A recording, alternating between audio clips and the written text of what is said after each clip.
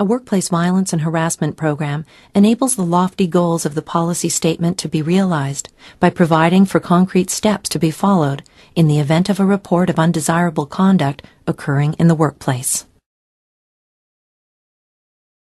Control methods break down into a number of different categories. Administrative, engineering, safe work practices, staff training, preventative measures, and recognition of early warning signs. Every organization must have a zero tolerance policy with respect to violence and harassment. Such behavior is illegal in the case of violence and undesirable, if not illegal, in the case of harassment.